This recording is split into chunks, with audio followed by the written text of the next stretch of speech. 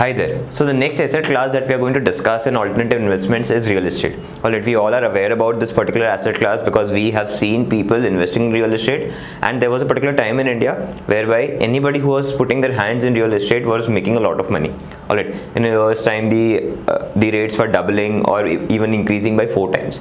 So uh, leaving all those things aside, but we all are very much aware about real estate. So we'll talk about how exactly real estate works and why people choose to invest into real estate right? and who are the people who can actually re- invest into real estate? Given that we have 1000 rupees in our pockets we cannot you know really uh, put our money there. So that is something that we need to understand that uh, for whom this uh, this asset class is for and at the very same time how much money is required for this asset class? And what time duration we are looking for to remain invested in this asset class that we have okay so talking about real estate why people make investment in real estate is number one thing the looking for rent the looking for passive source of income that हाँ हर महीना हर quarter या फिर हर साल एक कुछ fix amount मेरे पास आता रहे आता रहे आता रहे और वो फिक्स अमाउंट भी कुछ सालों बाद इंक्रीज हो जाए alright that is one motive that why people invest into real estate and at the very same time they rented it out the second reason is obviously nothing but capital appreciation तो सिर्फ़ rent नहीं देख रहा हूँ मैं।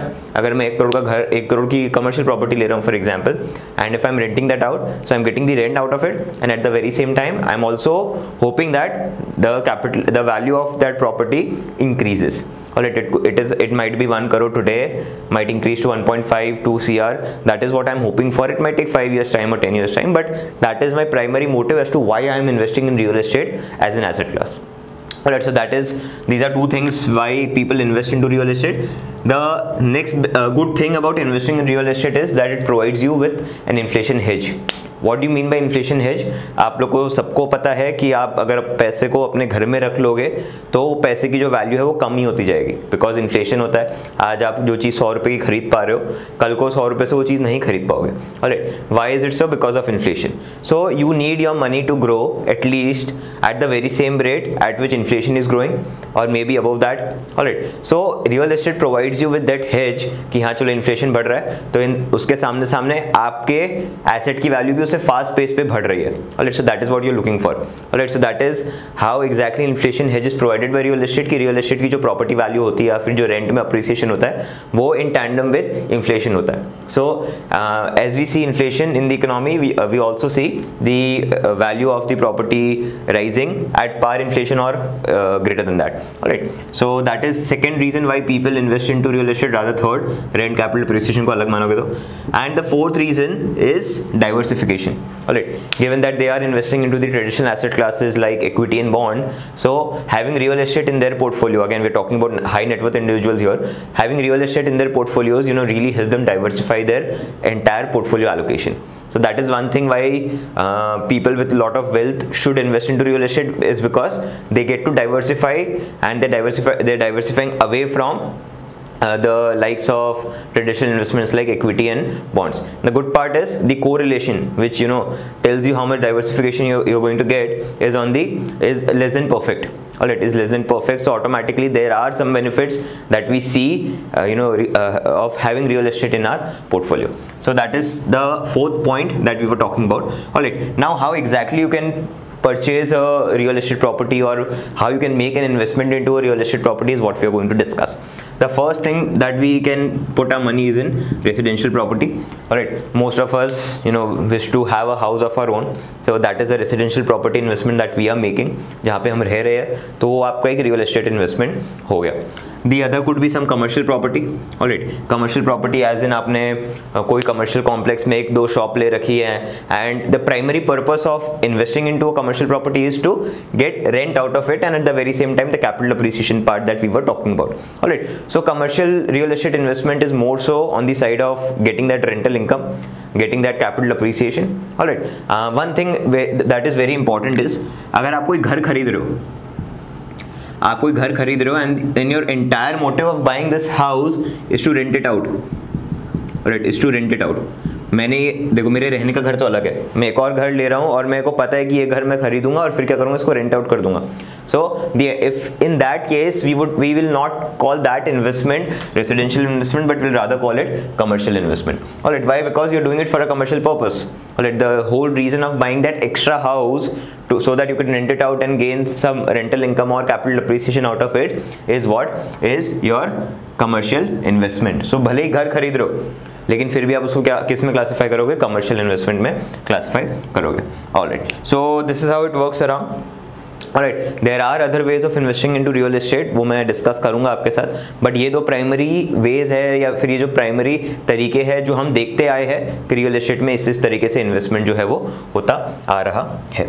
All right next up is you can you know invest in the loans of the above to all right. Sounds very confusing. What exactly it is, i'll be explaining it it here. All right.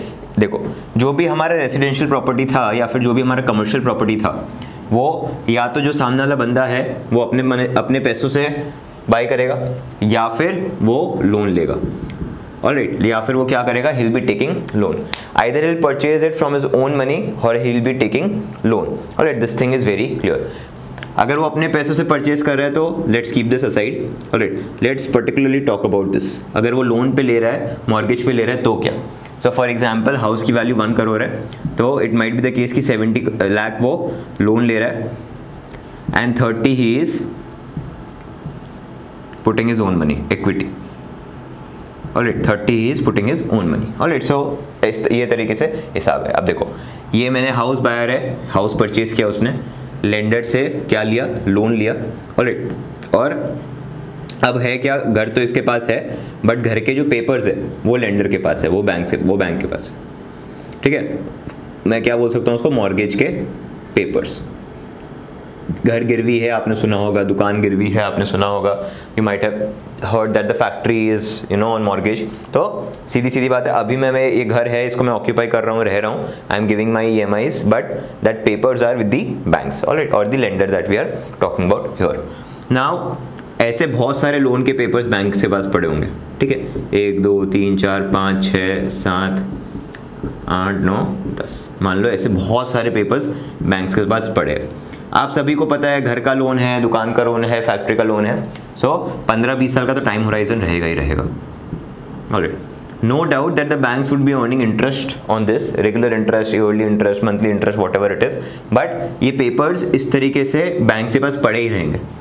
There is no other way to you know use it to make money out of it so what you know the financial system did it uh, did was they figured out a way of how exactly this could be put to use so let's see how मान लो ये सारे जो papers है mortgage papers है सब पे interest आ रहा है किसी पे सेवन आ रहा होगा किसी पे एट आ रहा होगा किसी पे नाइन आ रहा होगा किसी पे फाइव आ रहा होगा एवरेज मान लेते हैं एट परसेंट रिटर्न हमको मिल रहा है और ये पूरे पूल में से क्या मिल रहा है हमको? एट परसेंट रिटर्न जो है वो मिल रहा है। एज अ बैंक हमको एट परसेंट रिटर्न जो है वो मिल रहा है। Now what these banks can do is ये पूरा एक पूल बना के रखा है। ठीक है, पूरा एक पूल बना के रखा है। इस पूरे पूल को डिवाइड किया है बहुत सारे पेपर्स में।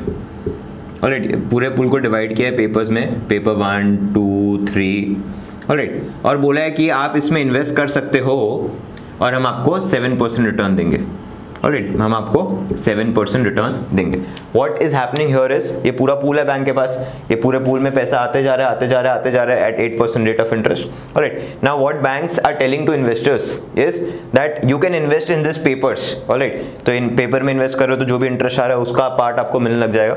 So you can invest into into these papers and for that investment I be giving you out seven percent interest तो ये पेपर जो बैंक इश्यू करेगा यहाँ पे, उनको हम बोलेंगे एम बी एस ऑलराइट उनको हम क्या बोलेंगे? M B S that is nothing but mortgage backed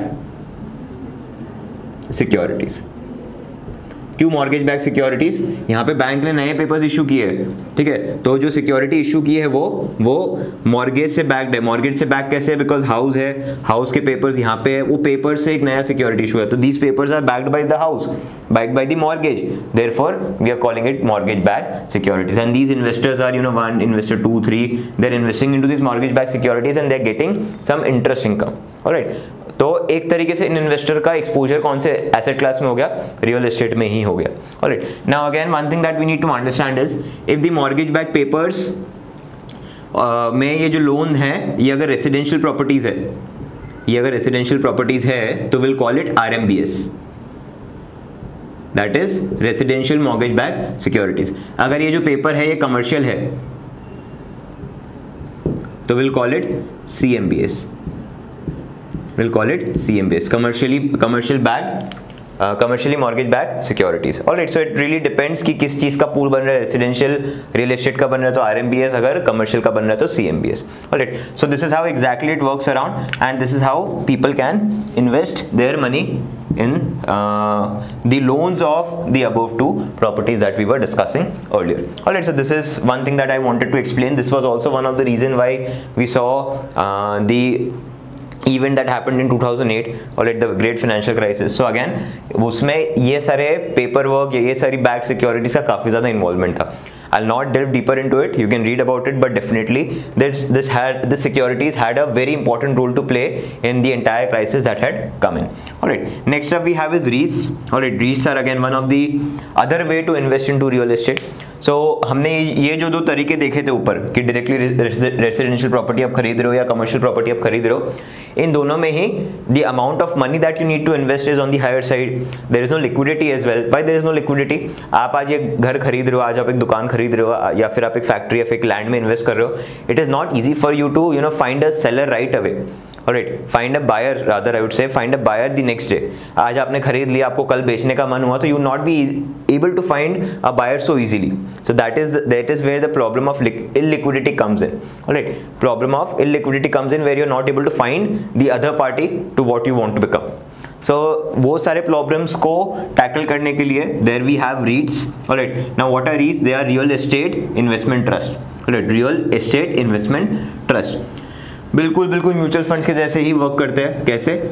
ये ट्रस्ट बना हुआ है, ठीक है, एक फंड बना हुआ है, लोग इसमें इन्वेस्ट कर रहे हैं, ठीक है, आप और मेरे जैसे लोग इन्वेस्ट कर रहे हैं the amount of investment could be very small और it could be in hundreds also could be in thousand also very small और लोग इन्वेस्ट कर रहे हैं, जो भी पैसा आ रहा है, उससे वो लोग क्या कर रहे हैं कमर्शियली कमर्शियल प्रॉपर्टीज़ में इन्वेस्ट कर रहे हैं।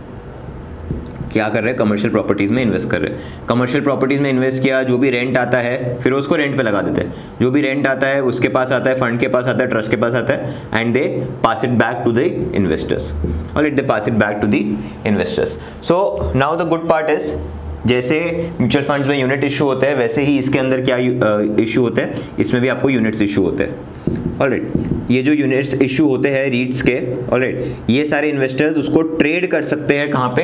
ओपन मार्केट में। ऑलराइट एक्सचेंज पे लिस्टेड होते हैं, जैसे एन एस एक्सचेंज है जहाँ पे स्टॉक्स लिस्टेड है। In the very same way even the REITs are listed you can simply go and buy sell REITs alright in the market as you do it for stocks so that is the whole idea whole beauty about REITs that you do not require that kind of money अगर आपको invest भी करना है reads में तो जो भी उसका यूनिट प्राइस है या फिर शेयर प्राइस बोल लूँ, उस प्राइस पे आप जाके उसको आराम से खरीद सकते हो। So the idea is very very very easy to you know purchase and sell REITs. Alright it is not that you require a very huge amount a huge amount of money to invest in it. Alright so this is how exactly it works around alright this is how exactly REITs work around whereby you have a fund in the middle who is investing into commercial properties per se and then whatever rental income they are earning after uh, investing it they're passing it out to the investors all right. And these investors need not uh, put in a lot of money. They can uh, invest into small amounts as well. And they can get the benefits of investing into commercial properties. All right. Next up we have is people also invest in timberland and farmland all right that is also a type of real estate investment that we have been seeing lately. All right you, uh, you can see the likes of bill gates investing a lot of money into agricultural lands because they see that uh, you know in the future the demand of it would remain constant or at least grow but the supply is going to remain constant or it will decrease. Or let's so automatically the prices will increase and they can definitely have this particular asset class in their portfolio to provide with the necessary diversification that is required. And this is a all all season you know asset class ठीक है, ख़राब भी हो रही है चीज़ें economy में तो ये चीज़ें तो चलने ही वाली है बिकॉज़ यहाँ पे जो ग्रो हो रहा है वो at the end of the day काम आएगा आएगा इकोनॉमी में। Right so that is also one of the investment in this particular asset class that people make right but the important one are the mortgage back securities which we discuss and the REITs right make sure you go through them you read about it from your special book और from your core book right and in case if you have any doubts you can definitely reach out to us thank you